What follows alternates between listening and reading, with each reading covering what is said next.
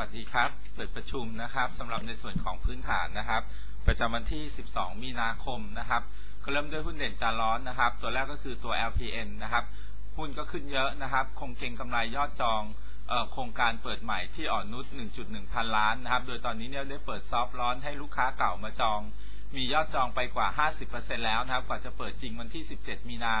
จองไป 100%นะครับ แต่นี่ก็เป็นแค่เพียงหนึ่งโครงการสำหรับรายได้ในปี 56 มองราคาหุ้นเนี่ยตอบสนองต่อข่าวนี้มากไปนะฮะแล้วก็ตอนนี้ก็ซื้อขายเกือบ PE 10 เท่านะครับราคาเนี่ยเริ่มเกินพื้นฐานที่เรามองไว้ 13 บาท 30 นะครับ ก็แนะนำฉวยจังหวะขทยอยขายนะครับ ตัว SVI นะครับ ราคาหุ้นเนี่ยก็ปรับตัวขึ้นแรงหลังบริษัทมีการชี้แจง นักวิเคราะห์ถึงความคืบหน้าของบริษัทหลังน้ำท่วมนะครับ ที่มีการพัฒนาดีวันดีคืนนะอีกทั้งลูกค้าเดิมเนี่ยก็เริ่มกลับมาส่งคำสั่งซื้ออีกครั้ง ตลาดมองว่าข่าวร้ายที่มีผลกระทบกับบริษัทคงสิ้นสุดลงแล้วนะครับ ก็แนะนำซื้อเก็งกำไรตามเทคนิคนะครับ ซึ่งเทคนิคเนี่ยมองแนวต้านอยู่ที่3บาท80นะครับแนวรับก็3บาท60 จุดถอยก็คือ3บาท56นะครับตัว Workpoint นะครับก็คงแนะนำเก็งกำไรต่อเนื่องนะครับ ก็เป็นในเรื่องของคาดการผลผลประกอบการที่ออกมาในไตรมาส 4 ดีเกินคาดนะฮะแล้วก็ไตรมาสหนึ่งเองเนี่ยยังมีแนวโน้มที่ดีขึ้นนะฮะหลังจากเม็ดเงินโฆษณากลับมาฟื้นตัวได้เป็นปกตินะครับ แล้วก็ utilization rate ของเขาเนี่ยก็กลับมาอยู่ในระดับเดิมนะฮะแล้วก็ยังรับรู้รายได้จากงานรับจ้างรับจ้างจัดงานนะฮะ เนื่องนะครับของไตรมาส4นะฮะแล้วก็มีงานใหม่ที่ได้เพิ่มเข้ามาด้วยนะครับรวมถึงในปีนี้เนี่ยเราคาดว่าน่าจะเห็นมีรายการใหม่ๆ เพิ่มขึ้นนะครับ เราได้ปรับราคาพื้นฐานขึ้นเป็น 20 บาทนะครับ ก็แนะนำเก็งกำไรนะครับ ก็เป็นอัปเดตนะครับในตัวของแกมมี่นะครับก็มีพูดไปแล้วนะครับในเรื่องของอธุรกิจใหม่นะครับ ว่าจะส่งผลกระทบต่อในเรื่องของอตัวกำไรในปีนี้นะครับ โดยธุรกิจใหม่ที่ จะเปิดก็อย่างที่แจ้งไว้ก็คือเป็นธุรกิจทีวีดาวเทียมนะครับ ซึ่งเขาพยายามผันตัวเองหรือต่อยอดตัวเองจากเดิมที่เป็นผู้ผลิตแค่เพียง content นะครับ มาเป็นผู้บริหารแพลตฟอร์มนะฮะหรือรูปแบบของรายการโทรทัศน์นะฮะซึ่งจะเป็นการบริการ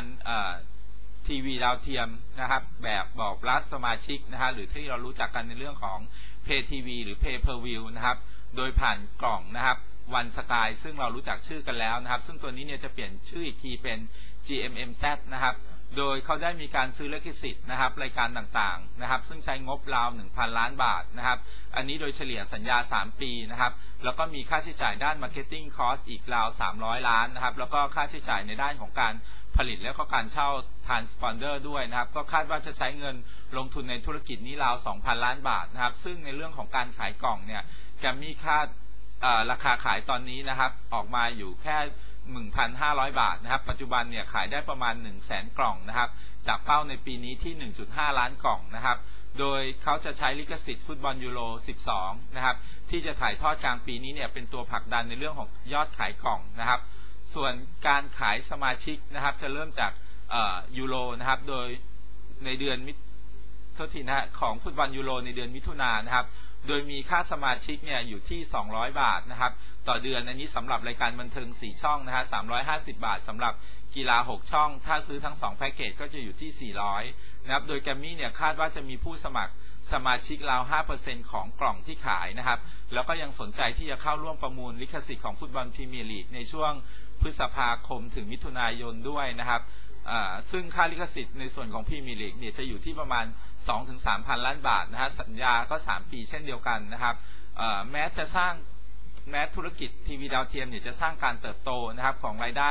ให้กลุ่มเนี่ยมากนะครับ แต่การลงทุนที่สูงเนี่ยเรามองว่าธุรกิจนี้จะยังขาดทุนในปีนี้นะครับ อีกตัวหนึ่งก็คือในเรื่องของธุรกิจ Home Shopping Center นะครับอันนี้จะเริ่มกลางปีนี้นะครับ ซึ่งเขาถือหุ้น 51%นะครับ โดยจะใช้ช่องทางทีวีดาวเทียมของเขาเนี่ย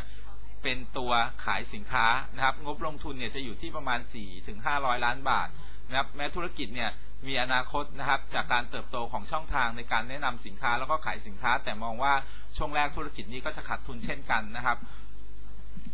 จากทั้งสองส่วนนะครับของธุรกิจนี้นะครับเเราจะเห็นตัวเลขกำไรนะครับ ในปีนี้เนี่ยเราคาดว่าจะลดลงประมาณสัก 58%เทียบ year on year มาอยู่ที่ 265 ล้านบาท นะครับ ในแง่ของรายได้เนี่ยจะเติบโต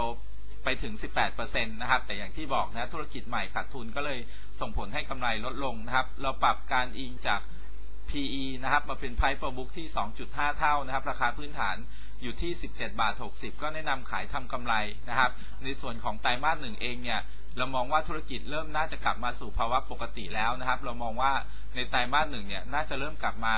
ใกล้เคียงของเดิมได้นะครับแม้ว่ารายได้จากโฆษณาในธุรกิจสื่อเนี่ยจะยังกลับมาไม่เต็มที่นะครับ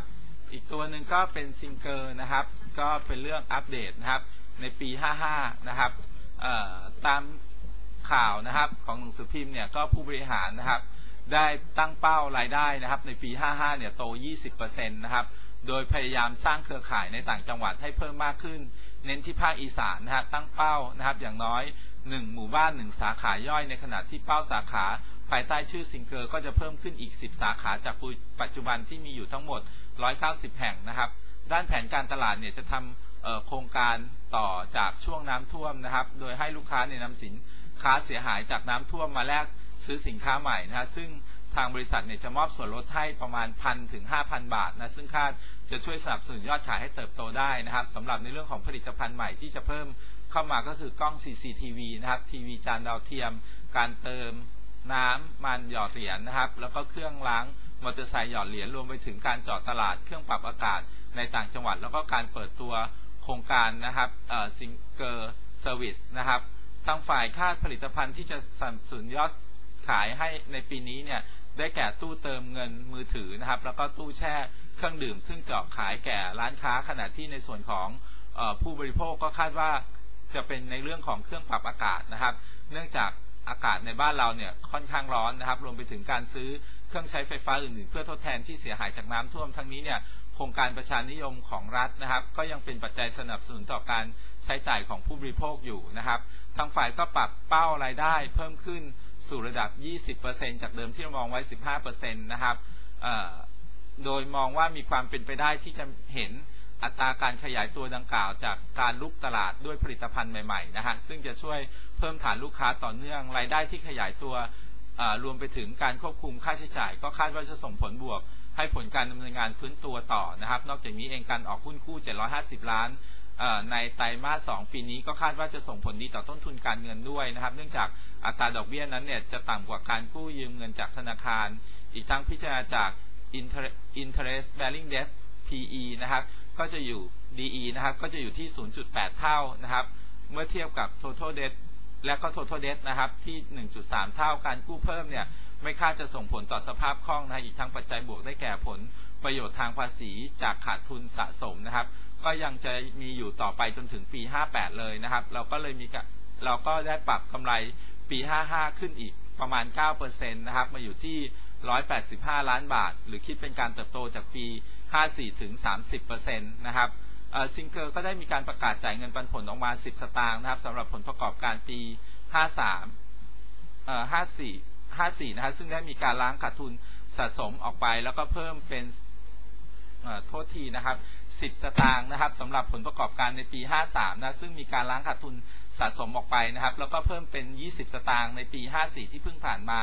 ก็คิดเป็น payout ratio ประมาณ 40%นะครับ อันนี้จะ XD วันที่ 22 มีนานี้นะครับสำหรับผลประกอบการปี 5 ทางฝ่ายคาดจะเห็นการจ่ายเงินปันผลที่มีทิศทางที่ดีต่อเนื่องนะครับ โดยคาดว่าในปีนี้จะจ่ายอยู่ที่ 27 สตางค์ เราก็ยังคงคำแนะนำซื้อนะครับ ราคาพื้นฐานอยู่ที่ 9 บาท 50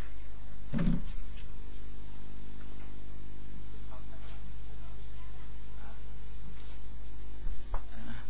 ำหรับวันนี้ก็ปิดการประชุมสำหรับในส่วนของพื้นฐานนะครับ